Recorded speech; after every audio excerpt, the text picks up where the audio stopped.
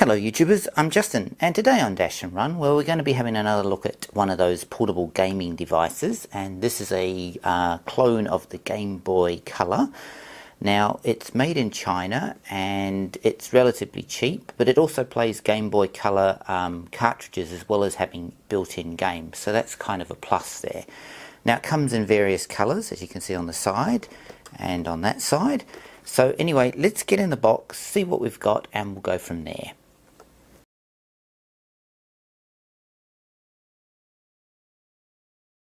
Okay, so the first things out the box is a warranty card and a manual, but unfortunately both of them are not in English. They're in some sort of Mandarin language, so unfortunately we can't um, actually read the manual to give us instructions on how to operate the device, but suffice to say it seems pretty straightforward. Okay, and finally we've got the actual console itself, and as you can see, I've picked a yellow coloured one, and it's quite a striking colour, I quite like it. Now going around on the side, you've got an external port here, you've got a volume control, you've got a DC in port, so you can run off mains, you've got a headphone jack, on this side you've got your on and off switch, on the top you've got some sort of infrared um, port, which I don't know if actually works, and then you've got your cartridge slot, which does work. Um, on, and on the front you've got your full layout of buttons, um, and on the back you've got the compartment for taking the batteries, which I've already put in. It didn't come included. So if we switch this on, um, we'll get a screen and it will come up with a load of games. It says 188 in one, but there are actually a lot of double ups here, so there's not really 108 eight games on here. There's quite a few less.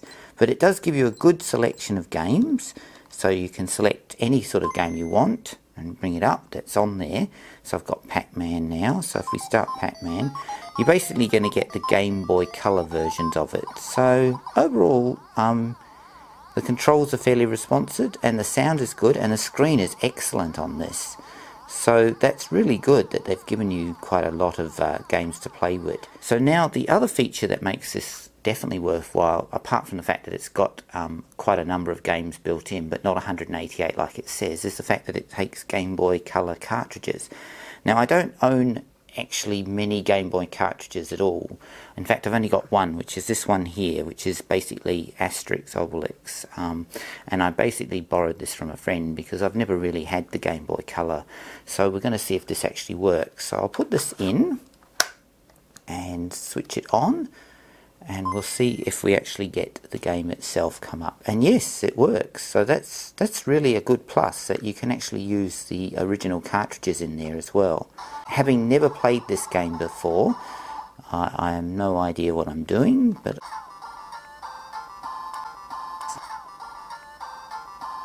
Okay, so it's kind of a platformy type game. Absolutely terrible at it because I've never really played it before, but at least it plays the games that you, you've got on your old cartridges. That's a really good plus. Well, there you go. There's my quick look at a Game Boy Color um, clone portable device, and overall, I recommend this. It's really good. It's got some reasonably decent games built into it, um, although not 188 like it says, but probably about a about 100 I suppose. And then the fact that you can actually put um, original cartridges in there like that makes it even better. So overall this is definitely a worthwhile package. And if you're into retro gaming and you want something and something like myself who never really experienced the Game Boy this is a good option. Anyway I'm Justin and as always thanks for watching and please subscribe to my channel